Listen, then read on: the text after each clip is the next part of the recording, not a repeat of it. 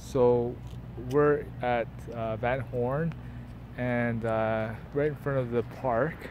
And I just want to address my concern about how they broke up the sidewalk to kind of pave it up again. And you can see the quality of the job was just horrible. Like, all these potholes where people would be riding their bikes, children, or skate or rollerblading.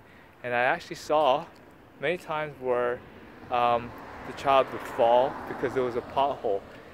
The whole sidewalk for, as you can see, has been paved with this asphalt. And again, the job was just terrible. So I don't know why they couldn't do a proper job where they actually used cement or poured concrete. And um, that's my concern. Uh, so please, Councillor Carroll, if you could address this concern I would greatly, we would greatly appreciate it. It's not just me that feels this way, but um, there's another pothole. Again, they just keep filling it with potholes, with uh, with the asphalt. And it's not just me that. Here's another one. It's not just me that feels this way. My neighbors all feel this way, and the people. And again, another. It's just terribly done. Um, so there's a lot of people. There's a lot of uh, residents here that are concerned and upset. Uh, thank you, and again, just keeps going on forever.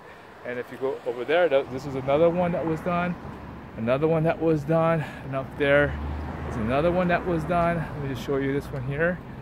And I guarantee what's gonna happen in the summer is the it's gonna expand. Here's another one that was done, and you get more holes. You're just gonna here's another one that was done.